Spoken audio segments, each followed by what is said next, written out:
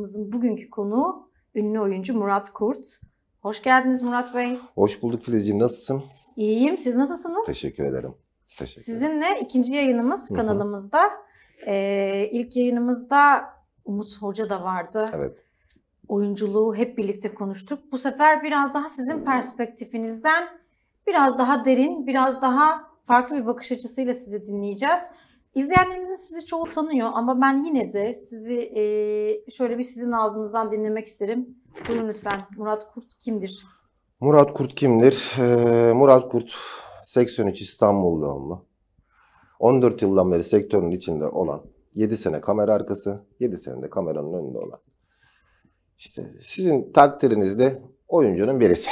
Evet. Böyle evet, diyelim. Evet, son projeniz bayağı e, izlenme rekorları Hı. kırıyor. O şimdi yeni yeni projeler var. Var. Bir kısmının e, detaylarına veremeyeceğinizi yayın öncesinde paylaştınız ama yine de sizi e, fanlarınıza e, bir minik birkaç minik duyurumuz da olacak. Tabii ki. Ama öncesinde biraz şeyi de merak ediyorum. Şimdi bu o, hep bu oyuncuların ya da sanata dair işler yapan e, bu alanda e, boy gösteren, yazan, çizen, işte oyuncu vesaire onların aslında hepsinin böyle bir hikayesi oluyor.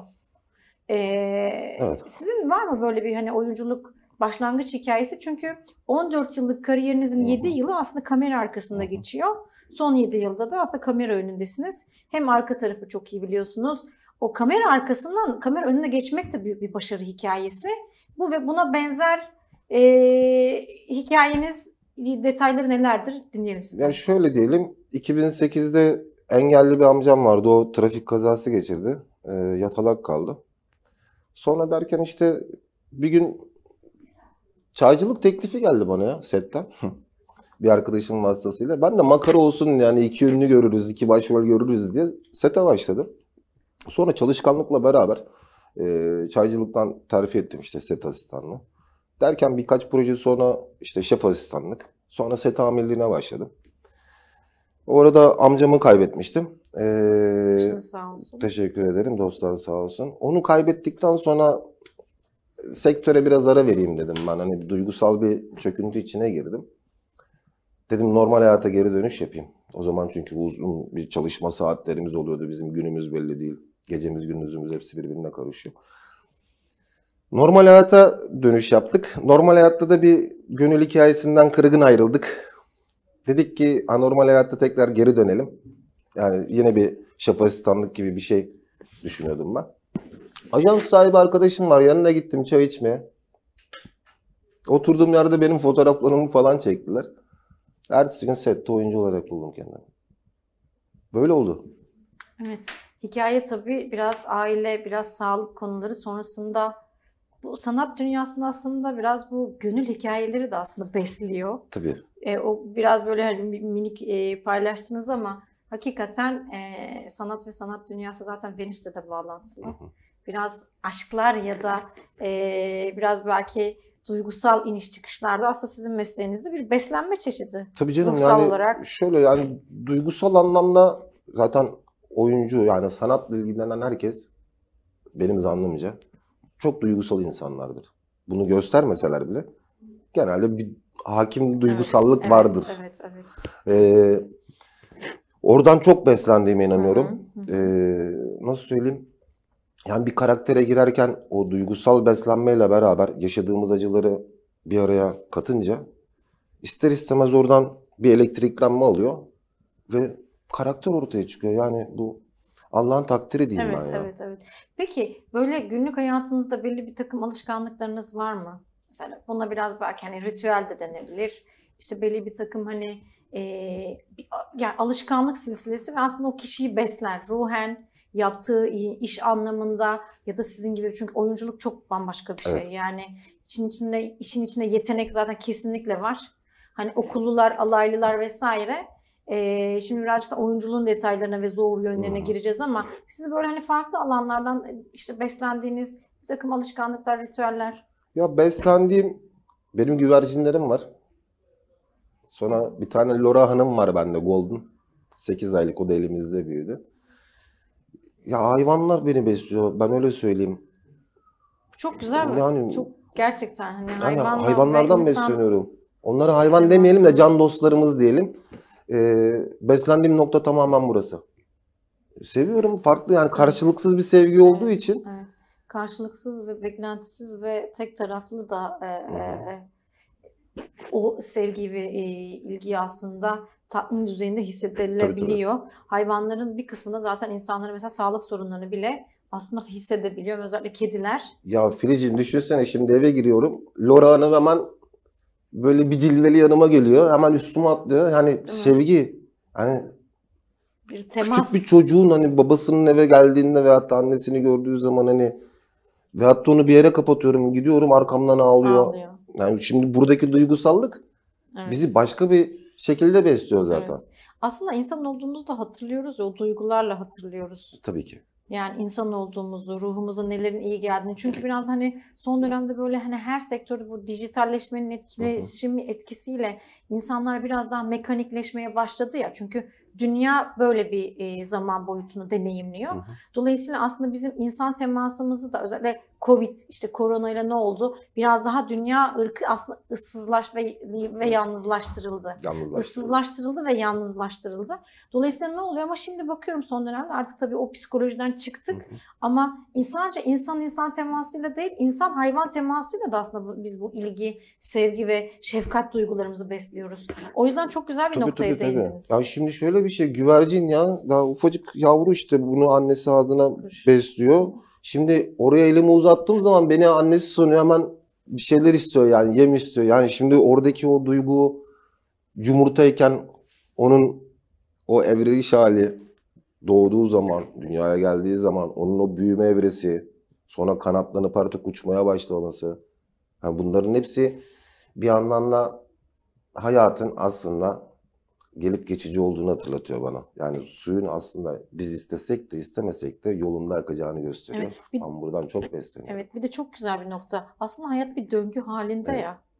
Evet. E, son dönemde basında e, bolca şeyi de görüyoruz. Bilmiyorum siz denk geldiniz mi? Böyle e, sürü halinde 360 derece dönen hayvan toplulukları. Mesela ilk Evet. böyle işte koyunların döndüğü, ondan sonra böyle solucanımsı takım işte e, varlıkların, yaratıkların.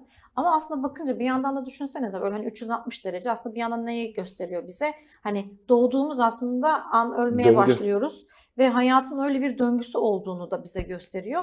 Bir de az önce de dediğiniz gibi bir kuş yavru Hı hı. doğdu, büyüyor, büyüyor, işte kanatlanıyor sonra uçuyor. Hani o da yaşamın aslında Tabii. başlangıç işte orta gelişme ve sonuç. Dolayısıyla her döngü birbirinde aslında birbirine hizmet edecek şekilde Bizim devam ediyor. güvercinlerimiz zaten hep 360 döner çatının üstünde. Değil mi? O hayvanlara da üstünde. özel. Çünkü ben de çocukluğumda çok güvercin Bu arada Lora da başladı gözlemlerdim. 360 dönmeye. Kendi kendine Şu an içinde. e, birçok bölgede, farklı yerlerde, dünyanın farklı yerlerinde de hayvanların böyle ya sürüler halinde ya da kendi halinde 360 derece döndüğünü burada gösteren çok fazla görsel de var. E, tabii onlar bir takım Ya. farklı sembolleri de belki de e, simgeliyor. E, neyse konumuza dönersek biz konularımızın içerisinde konuları açarak onları da birbirine bağlayan e, iki zihin tasarımında olduğumuz için dolayısıyla e, bir konuya bir yerden başlayıp başka bir yerden geçip tekrardan Diğer konuya e, geçebiliriz. senaryo, yok. oyun, dün, oyunculuk dünyasına dönebiliriz. Peki e, senaryo okumak da bir iş ya. Evet, Senaryo okumak duyuyoruz, basında da görüyoruz vesaire. Senaryo okumada tekniğiniz var mı? Ya, Yani oynamaktan ziyade senaryo okumakta bile bir teknik Tabii. olduğunu düşünüyorum. şimdi Var mı sizin böyle bir Şöyle bir durum var Filizciğim. Ee, senaryoyu bir yüzeysel okurum. Önce bakarım işte kim ne yapıyor, ne ediyor. Şimdi ben bu işin tekniğini de bildiğim için, hani çekim açılarını bildiğim için, ışıkları bildiğim için, işte kullanılan malzeme, bunların hepsi benim aklımda olduğu için. Ee, daldığım zaman ben senaryonun içine, onu zihnimden geçirirken zaten çekerek okuyorum. E, bu sefer otomatikman bilinçaltıma yerleşiyor. E, ezberimizi de yaptığımız zaman Şimdi siz tabii kamera arkasını bildiğiniz için o çekme hikayesini de zihniniz zaten otomatize de otomatik yapıyor. halinde. Ya Aslında bakın bu da bir yetenek. Yani bu şey gibi söyleyelim. Bir yemek yemek gibi, su içmek gibi. Bu e, şöyle bir şey. Sanki vücudun orada gereksinimini artık Hı hı. bilinçaltı o şekilde işlemiş kendine. Bu şekilde olduğu zaman da otomatikman ister istemez ben onu okurken zaten başlıyor benim hayal dünyam onu çekmeye. Beynim otomatikman çekim aşamasına geçiyor. Evet. Aslında çok şanslısınız çünkü bazen de böyle okuyorum basında da. Mesela disle- disleksi hastası olan oyuncular da var. Mesela normal yazıları bile okumakta zorlanan mesela Evet. zihinler ya da aslında o bir çeşit eee, hani hastalık e, da denebilir. Ama düşünün ki mesela sizin hem böyle bir fotoğrafik Hı hı. hafıza, onu işte okuduğunuz zihinde resmetme, işte onu çekerek e, işte o senaryoyu belki de içselleştirme ve ezberleme e, tekniği bu anlamda şanslısınız. Tabii ki. Çok şükür. Peki ezber, bununla bağlantılı olarak ezberlemede bir, bir tekniğiniz var mı?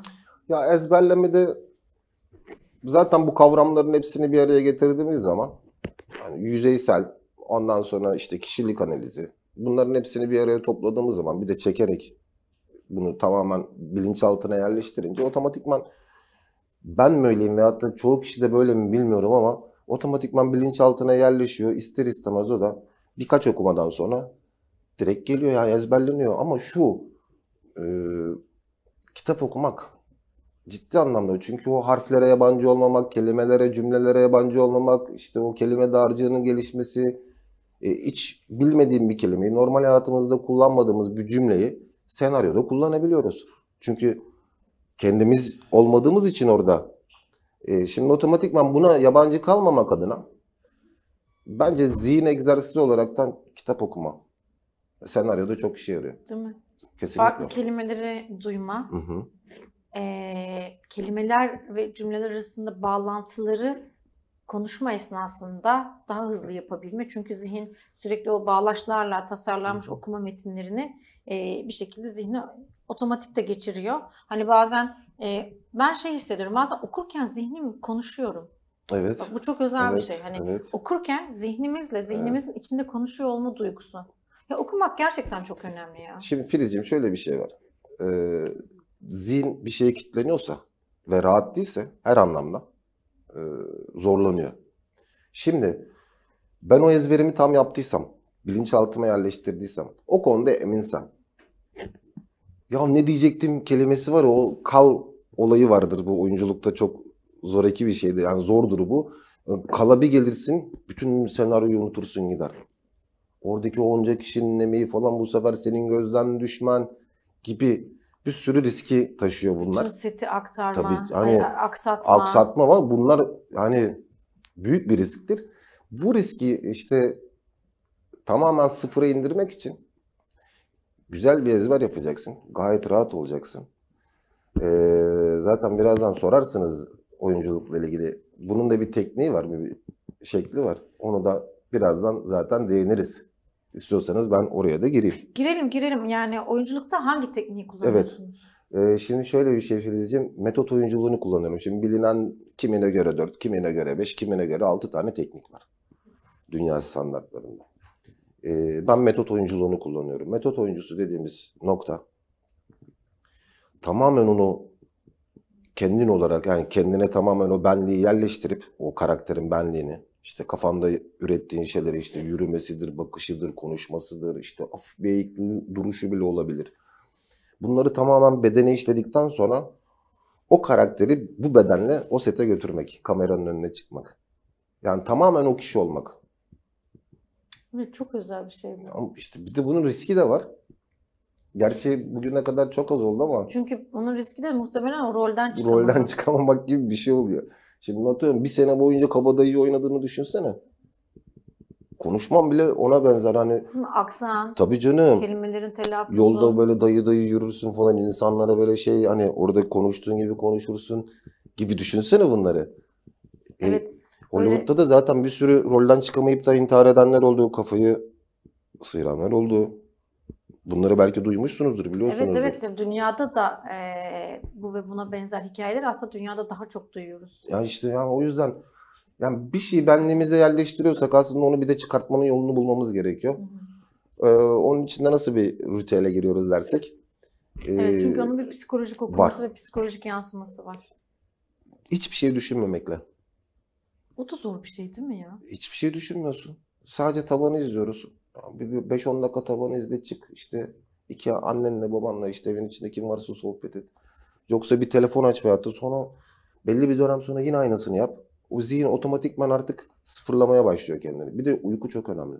Uyku. Düzenli uyku. hı. Yani tedavi ediyor resmen. Belli bir e, özel belli ve standart saat aralığında uyuyabiliyor arkadaşlar? Onu e, standart uyku ve standart yemek alışkanlığı ve arada işte yaptığımız işler işte hayvanlarımızla ilgilenmek gibi işte kitap okumak gibi veyahut da bir şey izlenecekse bunların hepsini belli bir periyot içine koyup kendini sınırlamadan ama çok da kendini sıkmadan birkaç gün böyle devam edince zaten otomatikman artık normaline dönmeye Evet. başlıyorsun. Bir yandan da siz e, konuşurken aklıma da şey geldi. Bazen de o rutin de çok bizi alıştırır ya aslında rutini kırmak da.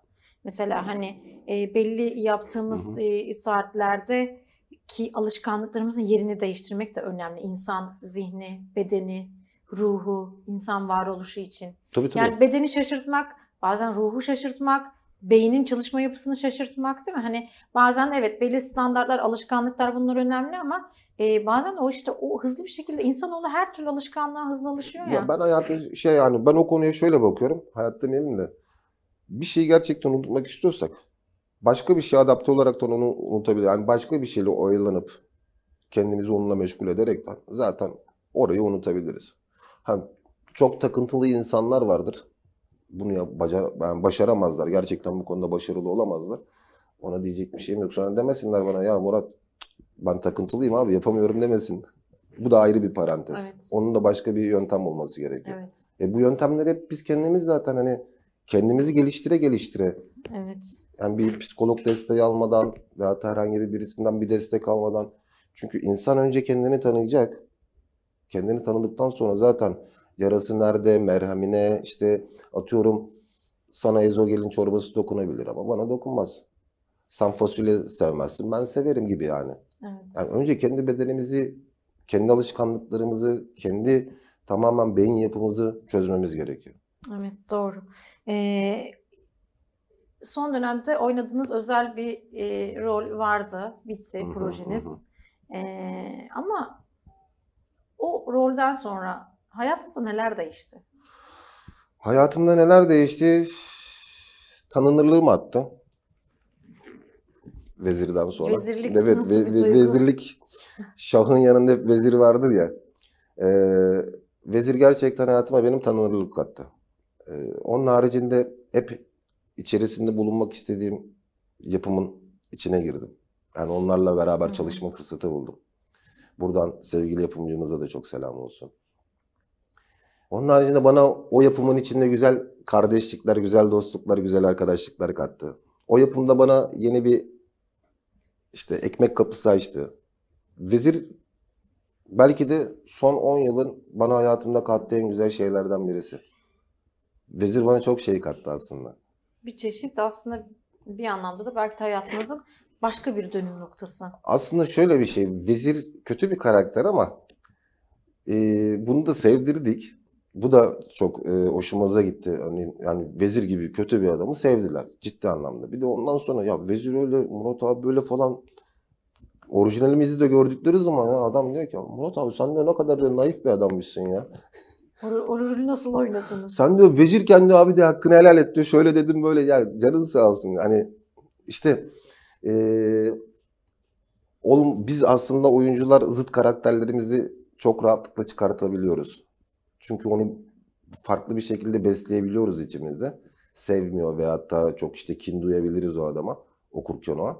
E, bunu da bu sefer yansıtırken de o hırsla yansıttığımız için ortaya çok güzel bir atmosfer çıkıyor ve e, o duygu izleyiciye zaten kesinlikle geçiyor. Evet.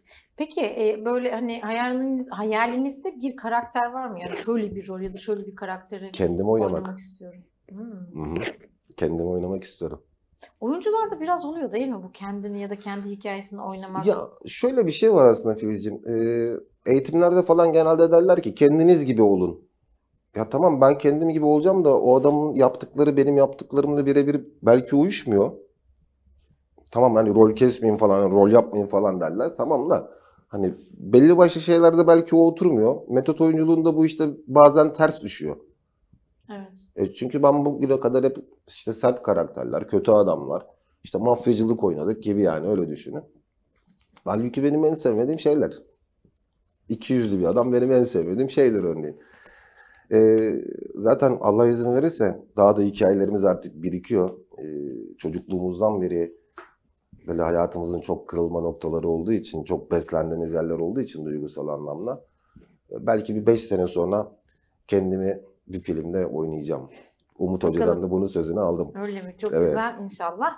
Şimdi bir yandan da bakıyorum süremizin sonuna doğru yaklaşıyoruz. Kapanışa geçmeden önce oyuncu adaylarına ve özellikle yeni böyle genç e, yeteneklere e, ne tür tavsiyeleriniz olur? Bir oyuncu şapkasıyla e, setlerin tozunu yutmuş bir e, deneyimli bir ruh olarak neler söylersiniz? Ya şimdi şöyle bir şey. Öncelikle arkadaşlarım bu mesleğe ne gözüyle baktı? Siz tanınırlık mı istiyorsunuz? Popülerlik mi? Yani para mı istiyorsunuz? Veyahut da bu işi gerçekten aşkla mı yapacaksınız? Önce bir buna karar verin. Ondan sonra bu yola çıkmaya çalışın ki yoldaki zorluklar zaten bambaşka. Ee, şöyle bir şey. Emek evden daha başlıyor. Evden daha yani evden çıkmadan kameranın önüne gelmeden daha başlıyor. Örneğin ben sabahın altısında çıkacak olsam. Benim annem 70 yaşında. Onlarla beraber yaşıyorum. Ellerinden öperim buradan onunla. Selamlar, sevgiler.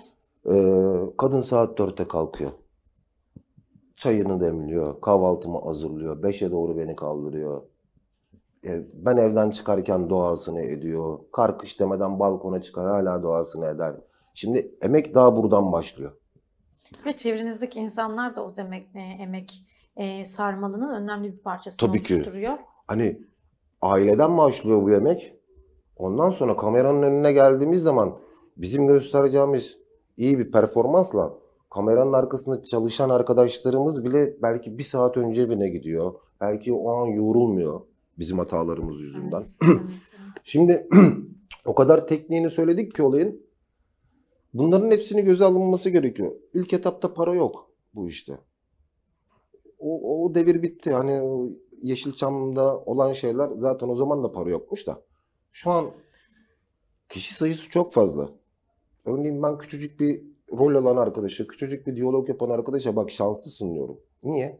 Bu işin okulunu okumuş binlerce arkadaşımız, kardeşimiz var. Bunun, yani bu işin eğitimini, güzel yerlerden eğitimini almış işte binlerce lira para harcamış o kadar insan var. Onlara denk gelmediyse eğer, nasip olmadıysa eğer sen bunu yaptıysan gerçekten başarılısın. Ama işte bunun da bir bedeli var işte. Evde kalırsın, psikolojik beden. Yani bedenin orada çöküyor. Para kazanamazsın, para psikolojisi. Ondan bir ara iş gelir, iş yorgunluğu, yorgunluk psikolojisi. Bunların hepsini bir arada dantel gibi işlemek gerekiyor aslında. Yani güzel bir şey çıkartmak için. Bunu dantel gibi yani aman bu iş olmuyor bıraktım olmadın zaten. Ama bu iş çok yorucu ya ben bu işi yapamam. İşte atıyorum özür dileyerek söylüyorum. Günde işte 200 lira paraya mı yapılır bu falan. Ama belki sen orada kendini tanıtacaksın. Yönetmenin gözüne gireceksin. Bir dahaki projeye seni belki günlük 2000 liraya çağıracaklar. Kaderimizi kendimiz oluşturuyoruz ama bir nevi kendi çabamızla. Ama ne kadar çabaladığımıza bağlı. Şimdi yapmak isteyen arkadaşlar bu işi aşkla yapsın. Gerçekten gönülden bağlı olarak yapsın. Ve bu saydığımız şeylere gerçekten bu saydığımız şeyleri gerçekten göz önünde bulundurarak yapsın ki öyle para, şan, şöhret değil yani. Yapıyorsan aşkla yap. Kendini geliştirerek yap. Örneğin ben bunu geçen sefer de söylemiştim. değil mi? Ben iki buçuk seneden beri mimik çalışıyorum diye. Evet, evet, evet. Geçen yayında da anlatmıştınız. E, şimdi Filizciğim adam iki yerde gözüktü. Ben de oyuncu oldum dedi. Nasıl olacakmış? Evet, doğru. Bir de böyle bir şey var. Diksiyonun düzgün olacak. Nefes kontrolün olacak. Mimiğin olacak. Beden kontrolü. Kelime Hani- hafızası, farklı Tabii. kelimeleri söyleyebilme yeteneği. Şimdi şöyle Evet, bir şey var. sürü. Senaryoyu unutmuş olabilirsin o an. Ama kendini o kadar geliştirmişsindir ki doğaçlaman kuvvetlidir. Kelime hazinen gelişkindir. Çok güzel bir bağ kurabilirsin oradan farklı cümlelerle. Diye oradan farklı cümlelerle, farklı kelimelerle o sahneyi öyle bir kapatırsın ki yönetmen böyle böyle aşkla izler bravo yani. Evet, evet. Çünkü başımıza bunlar bazen Evet. gelebiliyor. Bu arada rejim uyarıyor. E bir sonraki yayına yetişebilmek adına Hı hı. Son bir iki cümleyle Son bir iki cümle. olacağız. Valla tekrardan beni konuk ettiğiniz için memnun oldum. Ya süremiz kısıtlı olduğu için aslında çok çok detaylı anlatmak isterdik ama bazı şeyleri.